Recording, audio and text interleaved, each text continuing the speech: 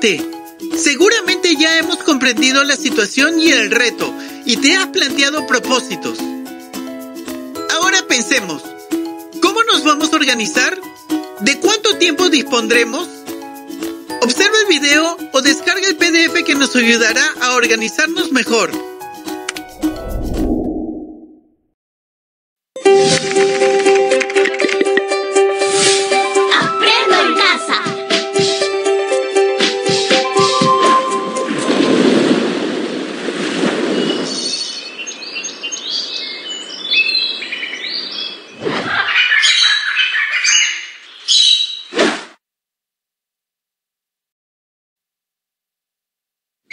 Nuestro entorno está afrontando desafíos y retos que requieren soluciones. Acabamos de conmemorar el bicentenario de nuestra vida republicana.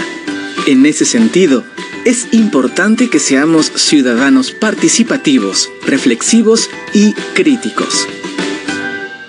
Hola, mi nombre es Rafael.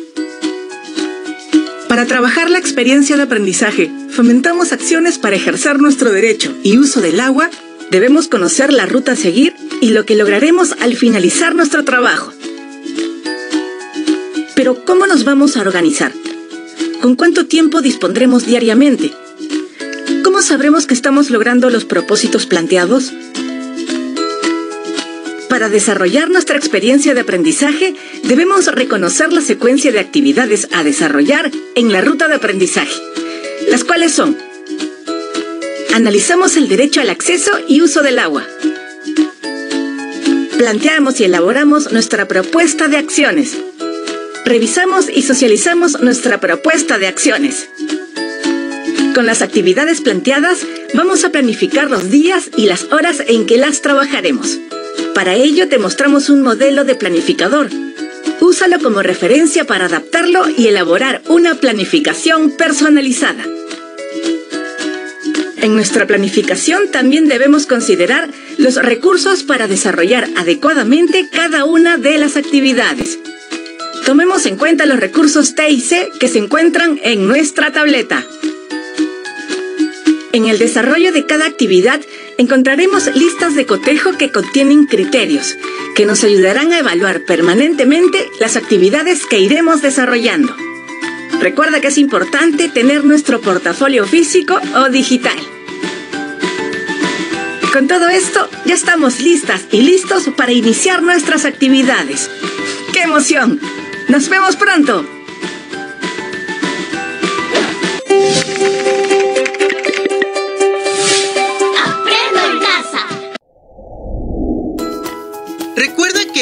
Organizarte es clave. Por eso te recomendamos utilizar un planificador o agenda. Reflexionemos sobre la planificación con las siguientes preguntas.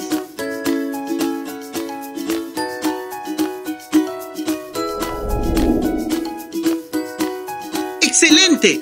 Ya podemos organizarnos en días y horas para desarrollar nuestros aprendizajes. Ahora preguntémonos, ¿cómo podemos organizarnos? Observemos cada opción y seleccionemos la secuencia más adecuada. ¡Excelente elección! La mejor forma para organizarnos de acuerdo a la planificación sugerida es la siguiente.